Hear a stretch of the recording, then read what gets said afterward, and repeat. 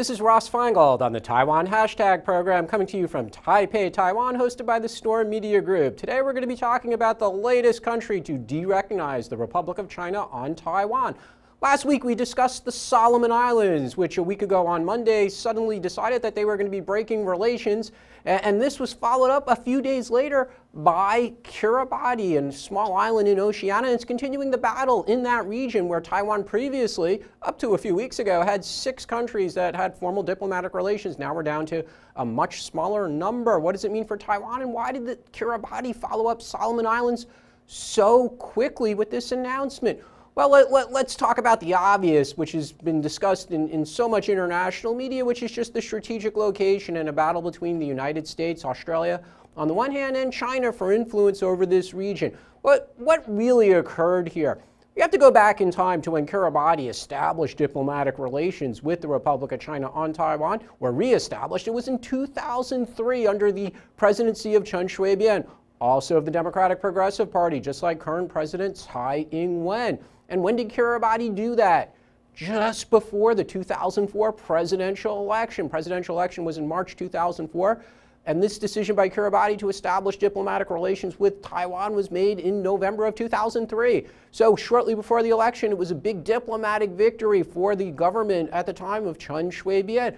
Fast forward to 2019, we're a few months before the presidential election, January 11, 2020. China getting some revenge. They cause a diplomatic embarrassment for the government of Tsai Ing-wen shortly before the election. So we shouldn't forget China's anger, not just at the fact that Kiribati has diplomatic relations with Taiwan, but actually the circumstances under which it occurred. Again, right before a presidential election, helps for the politics. At the time, Chen Shui-bian was saying, I, I can handle diplomatic relations. I'm tough on China. I even persuaded countries to de-recognize China and recognize Taiwan. Diplomatic victory then, diplomatic loss now. So some revenge by China. What else prompted this decision now by Kiribati? Well, probably they just didn't want to be left behind. So Solomon Islands, one of the larger countries in the region in, in Oceania that had relations with Taiwan, certainly large by population, 600,000 population in Solomon Islands.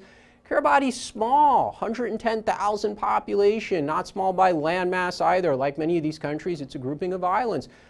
Big aid on offer from China, but if you're the last one out of the group, you're probably going to get the smallest aid package. So understandably, Kiribati, their leadership probably saying, we don't want to be left behind. We don't want to get the smallest aid package.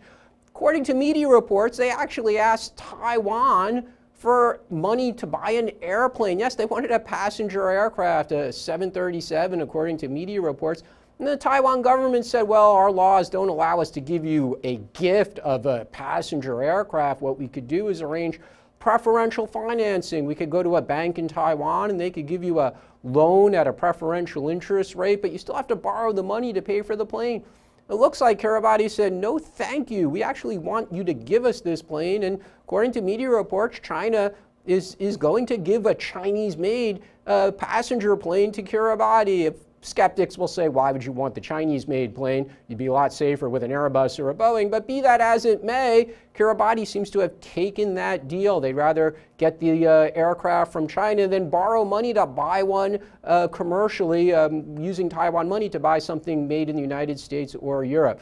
But broadly speaking, it's clear that financial aid was a significant part of Kiribati's decision. And again, they don't want to be the last one in the region because at that point, China is probably going to say, you should have made your decision earlier. We gave out the better aid packages. Kiribati, they want to follow along with Solomon Islands. They don't want to be left behind from the Belt and Road Initiative. Probably in the coming months and years, we're going to hear a lot of announcements about Kiribati's participation in Belt and Road or infrastructure projects that China is going to build there, Chinese tourists going there. Very similar to what occurred with Solomon Islands or with other countries that de-recognized Taiwan um, over the course of the Tsai Ing-wen administration. Uh, there'll be a lot of press coverage from the Chinese state media about things that China is doing for these countries. And most likely, subsequently after that, we'll hear that not everything worked out as well as uh, the leadership of Kiribati may have hoped, and they probably get saddled with a lot of expensive loans that they'll have trouble repaying. The infrastructure projects won't necessarily be built on the schedule that they were announced to be built upon. And there'll be criticism from academics, the United States, Australia, saying, see, we told you so. This was a risky deal for you. Uh, but they seem to be gone. Very interesting, though, there's speculation uh, in the media. Maybe uh, Kiribati could be persuaded to switch back. Look, they've switched back and forth before, but at least uh, as far as the countries that have switched during the Tsai Ing-wen administration over the last three years, every time one of them switches, somebody says, well, maybe the next president will switch back. It hasn't happened yet. El Salvador being a very good example. After they switched, there was subsequently a presidential election. The president elect, before he was sworn in, kind of said, maybe we need to reconsider our relationship with China. People took that to mean that maybe he would even reestablish relations with the Republic of China here on Taiwan. It didn't happen. So probably shouldn't get your hopes up that Kiribati will switch back in the future, regardless of who becomes uh, their their president. Uh, and that led uh, Mayor Ko of Taipei to basically say again, and he kind of said the same thing after the Solomon Islands, know, who cares? We're going to save a lot of taxpayer money. We're not going to give financial aid to Kiribati anymore.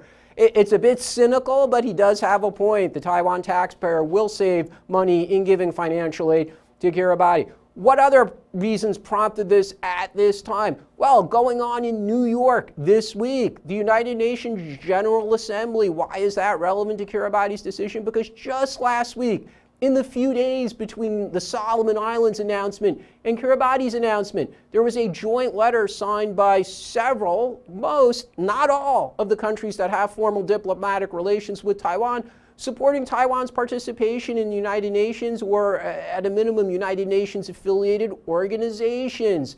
Kiribati signed that letter. They signed that letter in the few days between when the Solomon Islands derecognized Taiwan and before Kiribati announced they were derecognizing it. So in the course of a few days, Kiribati, they signed this letter. Their ambassador to the United Nations appeared at a press event with the other UN ambassadors of countries that recognize Taiwan in New York City. They held a press event to announce their open letter. It was also attended by the, a, a, representative of the Vatican, which has relations, formal diplomatic relations with Taiwan. They didn't sign the letter because the Vatican typically doesn't sign this kind of letter to the United Nations. Uh, but they, they held this press event to say that we are uh, endorsing Taiwan's participation in the UN. And then 48 hours later, Kiribati derecognizes Taiwan. So obviously it kind of negatively impacts the value of this letter. So China, very strategic timing here. One, they're trying to embarrass Tsai Ing-wen, although it doesn't necessarily hurt her poll numbers. Uh, we'll talk about that in an upcoming program. But certainly it's time to embarrass her. It's time to uh, negatively impact the perception that the Taiwan voter has of how she manages foreign affairs.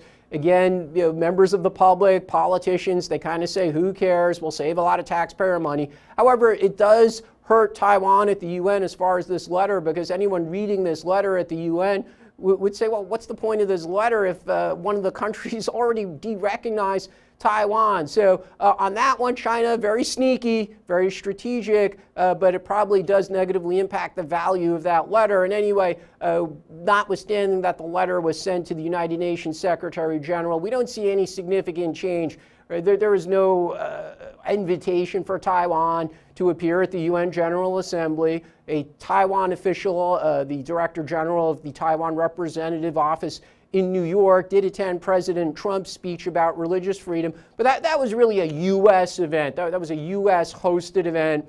It wasn't a United Nations event, even though the government here in Taiwan called it a breakthrough because she appeared inside the UN uh, building. Uh, but again, not really a breakthrough. Uh, but uh, the, the, UN, again, freezing Taiwan out. And that brings us to the International Civil Aviation Organization meeting upcoming in Montreal, another UN affiliated international organization for which Taiwan uh, is not allowed to participate. It did not participate in 2016. Uh, the meeting occurred after Tsai Ing wen was inaugurated as president. Looks like they're not going to get an invitation this year as well. In 2013, Taiwan attended as a special guest uh, of the leadership of the International Civil Aviation Organization. And that was at a time when President Ma's government had a more positive relationship with the government in China. And China said, we're okay with Taiwan attending as a special guest. But despite offers of support, or at least uh, spokespeople from various governments like Australia or the United States, uh, members of parliament around the world saying, we'd like to see Taiwan participate in this meeting of the International Civil Aviation Organization. Not happening. A lot of a lot of people in the leadership roles at this organization are actually from China, so they're not going to allow it to happen. Uh, and obviously, again, that, that that's because of the current state of relations between Taiwan and China, where Taiwan and the government of Taiwan is not going to follow what China wants as far as describing the nature of Taiwan-China relations. So again, very strategic timing uh, with Kiribati. UN letter becomes kind of, uh, I wouldn't say meaningless, but it loses its value. It also deteriorates from uh, Taiwan's ability to participate in the International Civil Aviation Organization. One less country speaking up for Taiwan. Just coincidentally, we have this issue with the aircraft as well, with Kiribati's request that Taiwan gifted an aircraft. Uh, so China could say, look, we're, we're even giving away airplanes.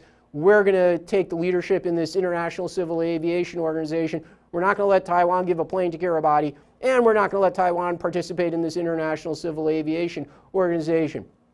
Other issues which have been much talked about in the international media, certainly very relevant to why Kiribati made this decision. The strategic location. Uh, previously, when Kiribati had relations with the People's Republic of China, it hosted a space tracking facility uh, of the People's Republic of China for their space program because of its location uh, in the ocean. Uh, very important to the space program. Obviously, the Chinese space program survived without it over the last 16 years, but they'll be very happy to reinstitute this facility in a more open way. There's speculation that the facility continue to operate at a, at a lower profile, but they'll certainly be reinstituting that, and, and it's going to work out well from China.